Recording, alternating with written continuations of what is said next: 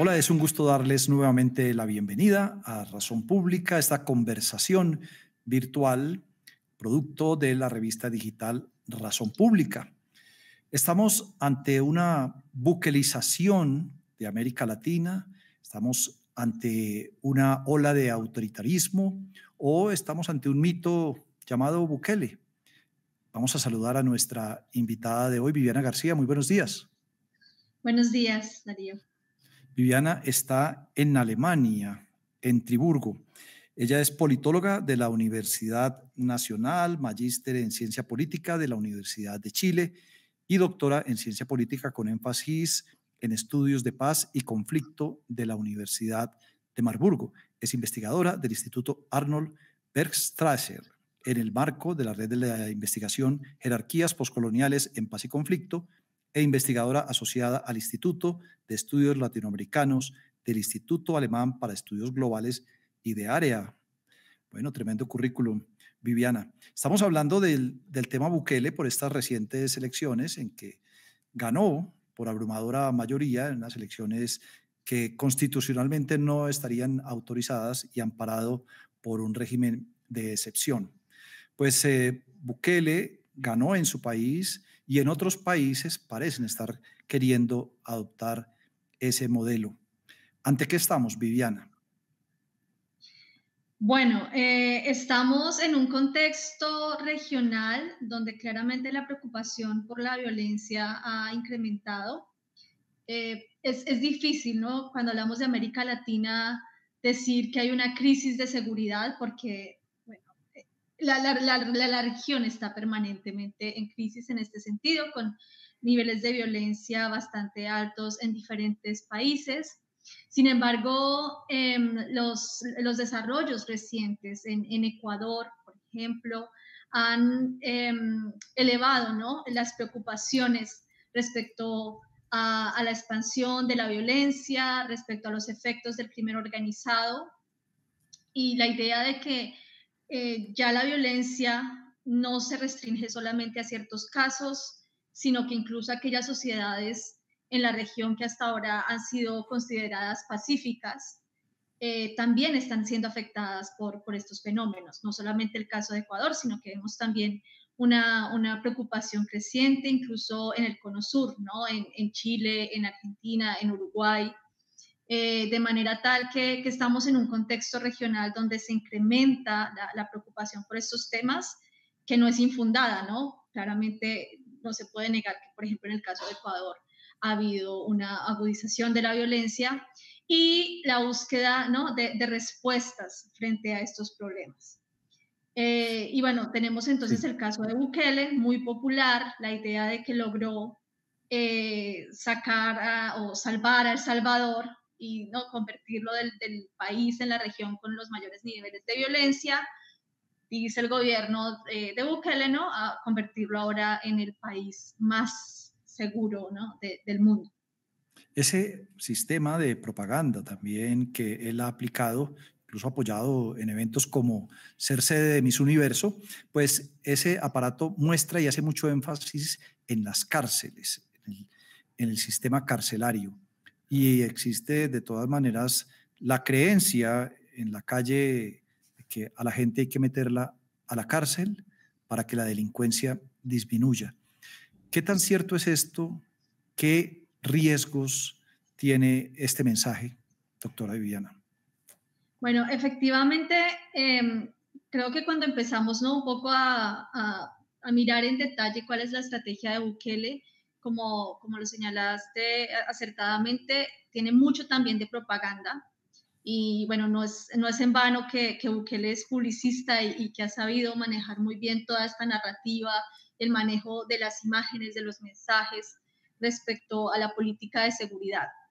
Y ahí eh, en la estrategia, eh, la idea de la encarcelación masiva eh, juega un papel central, es uno de los ejes de, de, su política de seguridad el poder eh, no solamente tener a los militares, a los policías patrullando constantemente en las calles, sino también este encarcelamiento masivo, eh, esto acompañado de un régimen de excepción donde la mayoría de las garantías eh, procesales, derechos humanos han sido suspendidos eh, por ejemplo, la aprobación también, ¿no? De, de, hacer juicios colectivos.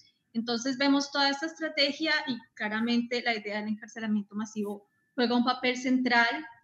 Eh, y también eso, no solo, o sea, eso también tiene un efecto muy fuerte en la narrativa. Entonces vemos todas estas imágenes de, de, las cárceles, la, la construcción ¿no? de este centro contra el terrorismo, esta mega cárcel que construye Bukele, las imágenes de, los hombres, ¿no? Que, acusados de ser miembros de las pandillas, con el torso desnudo, amontonados unos a otros, y cómo estas imágenes, estos mensajes circulan.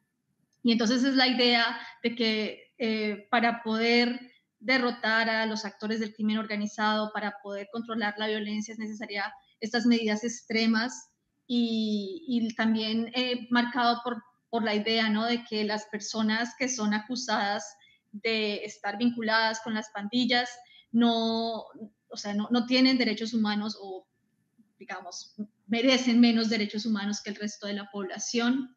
Eh, entonces, todo, todo esto se parte de, de, la, de la, estrategia de Bukele y, y, de no transmitir esta idea de que es necesario ponerlos a todos en, en la cárcel. Sí, sin embargo... Sí, doctora. Eh, aquí es muy importante, eh, y lo hablábamos también en la preparación de este programa, tener en claro que no son los mismos tipos de delincuentes los que hay en El Salvador, en estas cárceles, que los que puede haber en algunos de los otros países, en Colombia, en Ecuador. Sí, ese es uno de los puntos que hay que considerar, ¿no? Cuando se habla, por ejemplo, de, traer o de importar la, estrategia de Bukele. Eh, yo recuerdo mucho incluso el, año pasado para las elecciones locales en Colombia, ¿no? Algunos candidatos estaban prometiendo construir una cárcel parecida a la de Bukele en Cali, cuando, bueno, no tienen ni siquiera las facultades para hacer esto y, se duda también bastante de los efectos de esta estrategia.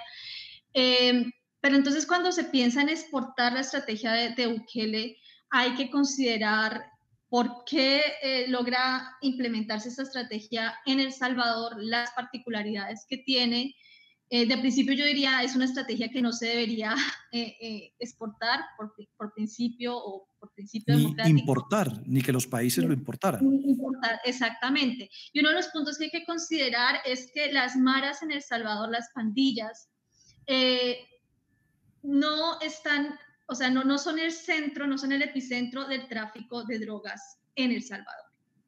O sea, El Salvador es un país de, de, paso, de tránsito, ¿no? De, los, de los mercados eh, de drogas ilícitas. Sin embargo, las pandillas no son un cartel.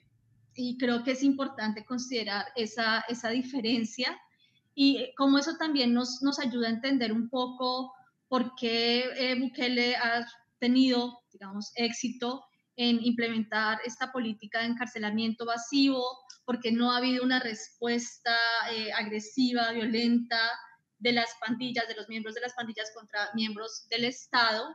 Y, entonces es necesario entender eso, o sea, el carácter de este tipo de organizaciones. Tenemos otros casos donde el Estado ¿no? ha emprendido estas guerras, lo que algunos académicos llaman estas guerras criminales, y lo que hemos tenido entonces es en realidad la respuesta violenta de estos grupos por ejemplo, en México, ¿no? Con los carteles. Eh, incluso un, ejemplo más reciente lo tenemos en Honduras, donde el, gobierno de Xiomara Castro trató de implementar también estas políticas de Bukele, o sea, muy al estilo Bukele, y eh, los resultados fueron distintos. ¿Por qué? Porque allí las pandillas sí están más, eh, o sea, es necesario considerar pues, los vínculos que ellos tienen con los mercados ilícitos, particularmente mercado de, de drogas, de drogas y, bueno, el tema de del narcotráfico y cómo entonces e, esta medida lo que llevó fue al incremento de niveles de violencia, incluso el desplazamiento de la violencia de, las zonas urbanas donde usualmente estaba concentrada. Sí, ¿por qué, pues, razón, ¿por qué razón no ha habido una reacción de las pandillas? Se dice que hubo unos acuerdos previos de Bukele con los jefes de las pandillas. Sí, el tema de las negociaciones creo que siempre es la verdad incómoda que tanto Bukele y, los, miembros del gobierno tratan de evitar y que también cuando se vende, ¿no? Como si fuera una estrategia exitosa, no se considera. Y es que eh, por el lado de Bukele hay muchos antecedentes de negociaciones de él con las pandillas, incluso eh, cuando él era alcalde de, Nuevo Cuscatlán, o antes de, ser presidente, eh, él empezó a tener negociaciones con, miembros de, las pandillas y ya posteriormente, cuando se convierte en presidente, en el 2019, él empieza una serie de, de pactos, digamos, clandestinos con miembros y sobre todo con líderes de las pandillas, donde, em, bueno, digamos, por así decirlo, la moneda de negociación de las pandillas es la, la violencia letal. Entonces el acuerdo es, no matan, ¿no? Disminuyen los niveles de violencia y a cambio de eso, entonces ellos recibieron distintos beneficios, incluso hubo, em, se permitió ¿no? la liberación o la salida de la cárcel de algunos líderes de las pandillas que luego se, se fueron a otras partes de, de Centroamérica. Em, entonces, ese es un punto que hay que considerar. Eh, y de hecho, es el rompimiento de esos acuerdos los que nos, lo que nos permite entender por qué viene el Estado o el régimen de excepción por parte de Bukele. Y es que una vez que se da un rompimiento de esos acuerdos, eh, por, creo que fue por la captura, ¿no? De uno de los, de los eh, miembros de la, de la Mara Salvatrucha, esto es en marzo de 2022, entonces viene la respuesta que es el asesinato de 87 personas que no tenían nada que ver con las pandillas en el transcurso de tres días. O sea, estos tres días son los días más violentos en la historia reciente de El Salvador, después del fin de la guerra y después de la, de la transición. Y entonces se rompe ese pacto y ahí es donde eh, viene entonces esta respuesta em, represiva por parte de Bukele. Sí, y para seguir eh, mirando la radiografía eh, y el contraste de, todo esto, pues una política basada en el encarcelamiento masivo, pues tiene unos costos en derechos humanos, de pronto no muchos beneficios en todos los casos contra la, en la disminución del delito, pero también unos costos económicos. Miremos primero estos costos en materia de derechos humanos. Claro, em, yo creo que aquí hay un punto que es necesario considerar y es que la estrategia de seguridad de Bukele no es un elemento aislado, sino que está conectado a todo un proceso de autocratización en El Salvador. Es decir, no, no solamente Bukele se, se ha enfocado en la estrategia de seguridad, sino que esta estrategia de seguridad juega un rol dentro de un proceso de concentración de poder de parte de Bukele. Entonces, un costo es la democracia en sí misma, porque eh, eh, tenemos la concentración de poderes, en este momento Bukele tiene control, ¿no? De, por parte del, del, Poder Judicial, por ejemplo, de la Sala de lo Constitucional, de la Corte Suprema, también. Entonces, eh, creo que es necesario considerar, ¿no? Este, esto en, en este contexto más amplio. Los costos en temas de derechos humanos son em, la arbitrariedad estatal, la violencia, en estos procesos de encarcelamiento masivo, eh, bueno, se, se violan ¿no? los, los, principios fundamentales en materia de debido proceso.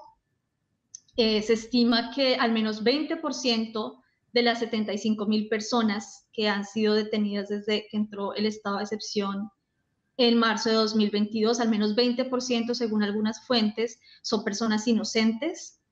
Em, también incluso han habido seis, más o menos 6, 7 mil personas que han sido eh, ¿no? enviadas a prisión y que luego han sido liberadas porque pues, se demostró que no hacían parte de, de las pandillas.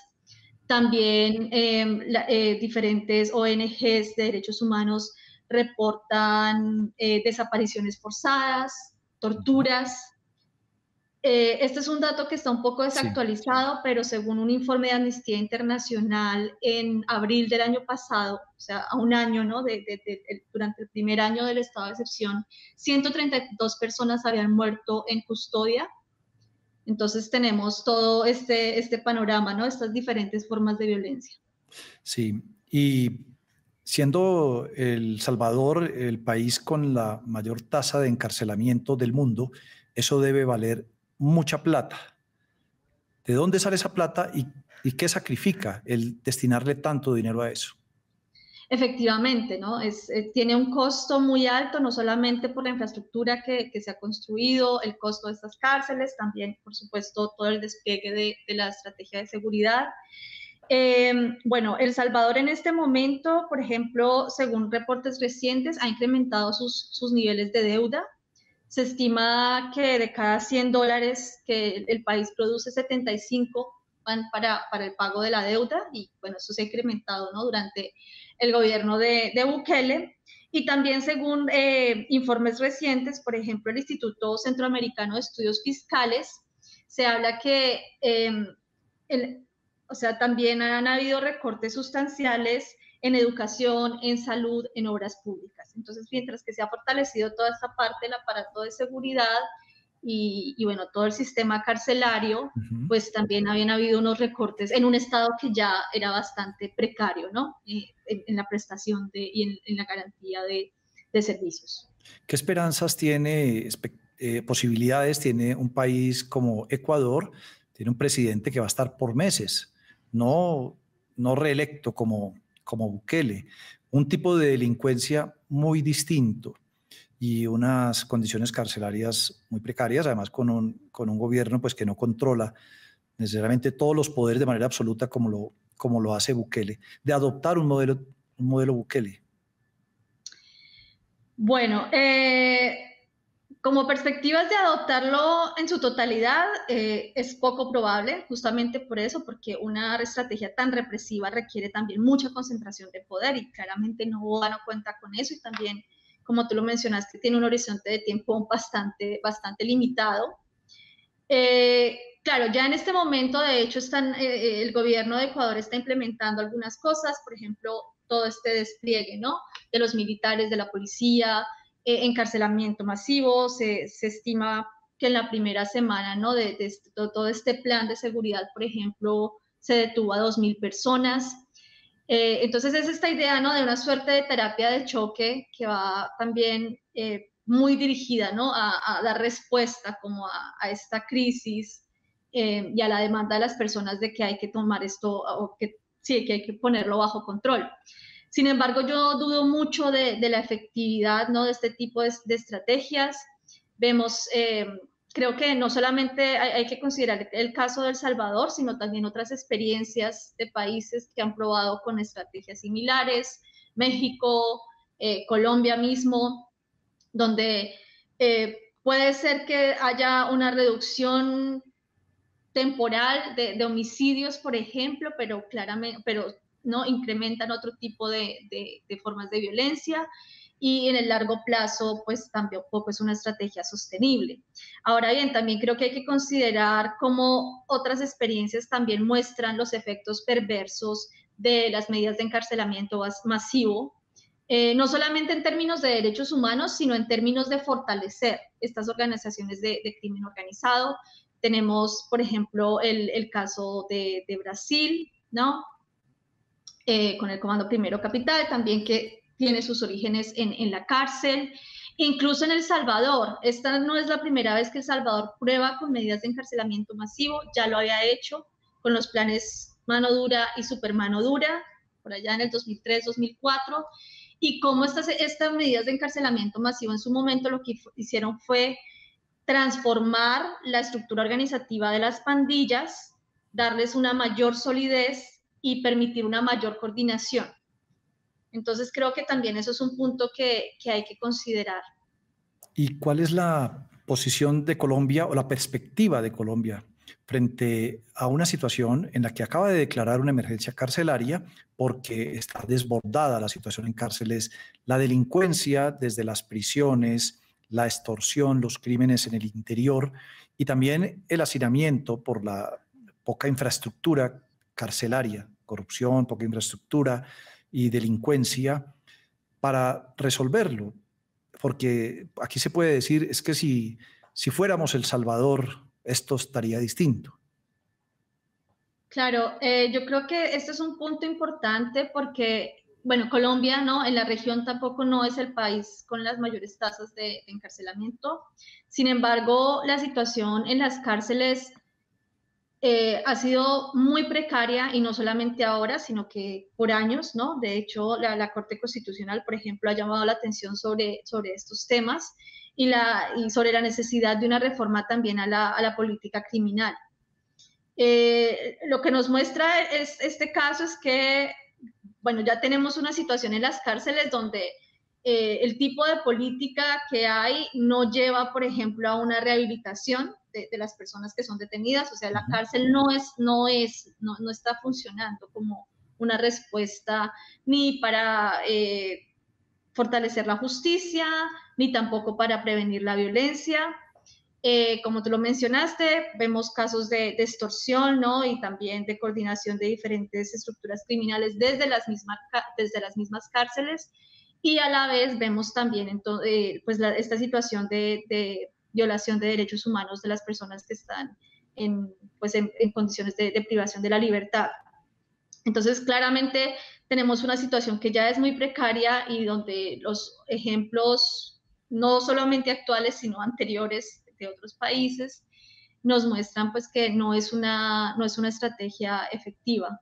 Y claro, entiendo que en el contexto actual en Colombia, cuando hay una gran preocupación eh, frente al incremento de ciertas formas de violencia, sobre todo en contextos, no solamente, pero particularmente en contextos urbanos, eh, es muy fácil, ¿no? Recurrir a este tipo de llamados, a este tipo de políticas, mano dura, más represivas, pero creo que, o sea, los costos en términos de derechos humanos son muy altos, por un lado, y por otra parte, en realidad no son políticas efectivas. Claro, y eh, siempre en Colombia estos discursos que vienen de otras partes, de mano dura, de encarcelamiento, de combate de la inseguridad y de la delincuencia, aún pasando por encima mm, los demás poderes, la misma constitución, el derecho los derechos humanos, el derecho internacional humanitario, lo que sea, eh, pues se toma de pronto como referencia. Aquí se ha hablado de que aquí en determinados momentos que hubiera un Pinochet, que hubiera un Fujimori cuando estaba de moda Fujimori, antes de que cayera en desgracia, que hubiera un Trump, y de pronto viene este señor con unas imágenes muy elocuentes, muy, muy dicientes, de unos pandilleros recluidos, que no necesariamente, como bien me lo decía usted antes son los jefes de las pandillas. Entonces, como discurso, como discurso puede funcionar y puede llegar a ser emulado. Sí, efectivamente. Y, también esa idea de, que, o sea, hay que ver cuáles, que, que los políticos necesitan o tienen el incentivo de respuestas a corto plazo. No, no se pueden dar por, los ciclos electorales, las demandas, ¿no? Muchas veces esta idea de pensar en el largo plazo, incluso en el mediano plazo, es un lujo. Y es la idea de hay que dar una respuesta efectiva. Y claro, tenemos a, a Bukele, como algunos lo han llamado, todo un dictador muy millennial, em, muy carismático, con una política que se considera ha sido efectiva en el sentido en que pues, ha logrado ¿no? Eh, derrotar a, las pandillas eh, y que a la vez es sumamente popular. Entonces, sí, es, es, una estrategia, es una estrategia que, que, es atractiva, pero nuevamente creo que es necesario considerarlo con pinzas, no solamente por, ¿no? O sea, por, entender el contexto en el que esto ha funcionado, entre comillas, en El Salvador y que es muy diferente a, a otros contextos, sino también por, por los costos y los efectos que tiene. Bueno, pues estamos entre, entre la buquelización de América Latina o la mitificación de Bukele. Y el propósito aquí de esta conversación con la doctora Viviana es como poner esto en otra perspectiva. Pues muchas gracias, doctora, por acompañarnos. Tenemos una importante diferencia horaria Así que ha sido muy generosa en atendernos. Muchísimas gracias, ha sido un gusto poder participar. La hoja de vida, para recordarle, de la doctora Viviana aparecerá aquí al término de este programa. Y a ustedes muchas gracias por acompañarnos una vez más. Nos vemos y apoyen a Razón Pública, por favor.